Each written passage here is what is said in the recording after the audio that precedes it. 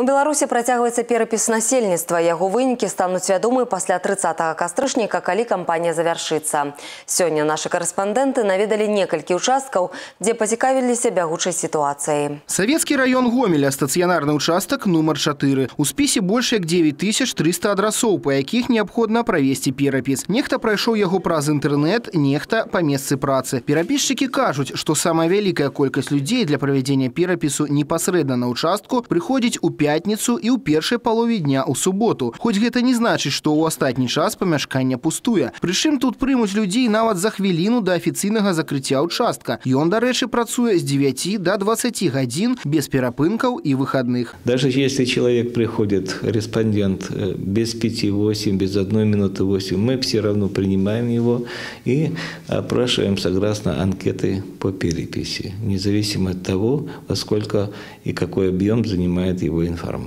У гэтыя дні бадай асноўная работа перапісчыкаў звязана з наведваннем людзей па месцы жыхарства. У кожнага з іх на планшеце адрасы тых, хто яшчэ не прыняў удзел у перапісу. Праблема ў тым, што да некаторых даводзіцца прыходзіць па некалькі разоў і ўсё роўна застаць чалавека на месцы атрымліваецца не заўсёды. Нехта, магчыма, яшчэ не вярнуўся з дачы, у першую чаргу гэта тычыцца пенсіянераў. Нехта знаходзіцца на працы. Па гэтай прычыне перапісчыкі аддаюць перавагу наведванню кватэр і домаўладанняў у вечерний час. Наши переписчики сейчас э, в основном совершают обход в вечернее время, потому что это как раз то время, когда э, человека можно застать дома.